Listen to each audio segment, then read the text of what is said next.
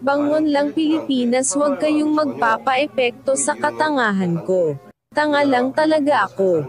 Kung nagtataka kayo kung bakit ganito ang hairstyle ko kasi idol ko si Daoming si sa Meteor Garden. Kung hindi kayo naniniwala ay hayaan nyo ko na kantahan ko kayo ng kanta nila. Huwag kayong mag-expect na maganda boses ko kasi ang boses ko ay parang mukha ko. Ang pangit. Ang pangit talaga, kaya hindi na lang ako kakanta dahil nahihiya ako sa mukha ko. Anyways, maraming nagsasabing kamukha ko daw si Marlo.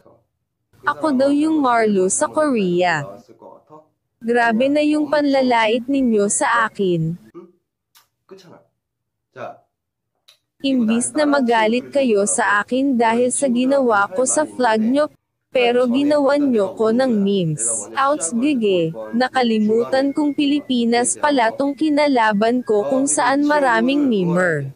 음. Marami silang ginawang meme sa akin.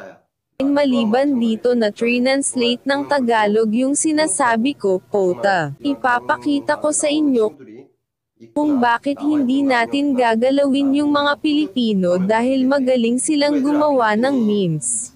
Ito yun, ipapakita ko sa inyo yung mga abra na gawa ng mga Pilipino sa akin. Dahil sa mga ginawa nila na depressed na ako. Grabe. Grabe talaga sila. Ito na yung mga abra nila. Tangina. Ito yung unang abra nila, nakangiti pa ako habang binubuksan yung piatos, hayop. Kaya hindi ako ngumangiti dahil ang pangit.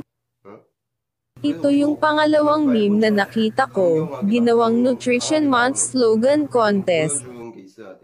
Mga Pinoy talaga walang magawa sa buhay, kaya buhay ko, ko ang pinagtitrapan. Awit Lods. Hahaha, grabe talaga makagawa ng memes ang mga Pinoy eh. Halos lahat ng Pinoy ay memer. Madami pang memes na ginawa sa akin pero di ko na ipapakita kasi, it really hurts ang masaktan ng ganito.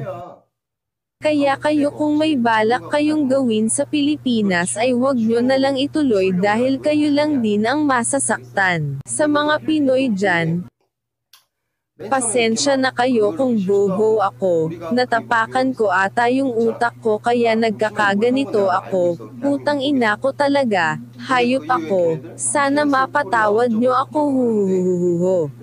Tinatamad na akong mag-edit kaya hanggang dito na lang siguro. Mag-subscribe na kayo. Alright. 실수를 했고 잘못을 했으면 우리가 욕을 해도 가만히 있어가지고 좀 미안하다